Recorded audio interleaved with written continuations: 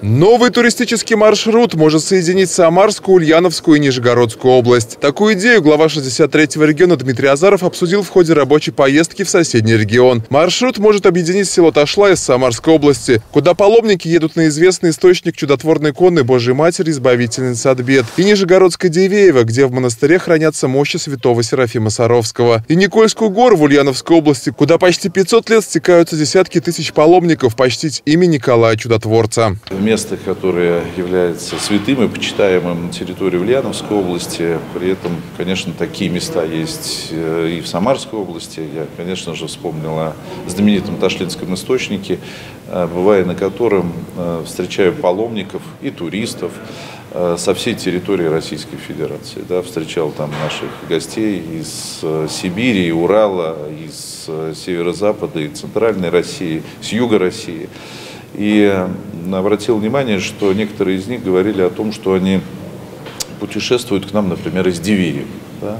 А вот э, этот объект, э, Никольская гора, она расположена, вот если смотреть по карте, да, то как раз по пути следования, можно сказать, да, из Дивеева э, в Самарскую область, в Ташлу. Проработать варианты реализации маршрута Дмитрий Азаров поручил региональному министерству туризма. Между тем, эта сфера экономики губернии в последние годы одна из самых динамично развивающихся. В 2022 году в Самарской области отдохнули свыше 2,5 миллионов туристов. Это почти на 50% больше показателей 2021 года. В целом, за последние пять лет турпоток в наш регион увеличился в два с половиной раза. Это результат системной работы регионального правительства главе с губернатором Дмитрием Азаровым, который уделяет значительное внимание развитию отрасли, прежде считавшейся недооцененной. В частности, храмовый комплекс села Ташла получает новое рождение. Место святое к пустому колодцу поводу не пойдут.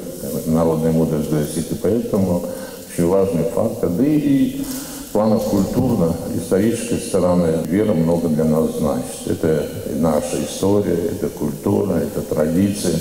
Самарская область привлекает туристов не только культовыми местами, природными красотами, уникальными памятниками архитектуры, но и культурными событиями. Так, весной 2022 года Самара провела юбилейный всероссийский фестиваль «Российская студенческая весна», который стал рекордсменом среди творческих проектов России. Всего за дни проведения студ весны конкурсные площадки посетили более 120 тысяч жителей Самарской области, а фестивальные городки порядка 650 тысяч человек. Большое количество зрителей собрал и первый фестиваль авторской музыки «Самфест» – более 50 тысяч тысяч. Губерния вошла в число первых 18 субъектов России, которые в 2022 году получили возможность поучаствовать в федеральном проекте повышения доступности туристических продуктов. В рамках этой программы за счет средств федерального и регионального бюджета осуществлялись бесплатные поездки для учащихся с 5 по 9 класс. В 2022 году такие поездки совершили более 7 тысяч школьников. По инициативе Дмитрия Азарова ведется большая работа по развитию ряда знаковых сельских территорий Самарской области, мест, которые имеют многовековую историю, овеянную легендами и былинами. Так, например, Например, новый импульс получило село Ширяево. Леонид Кошман, Андрей Авдеев, Новости губернии.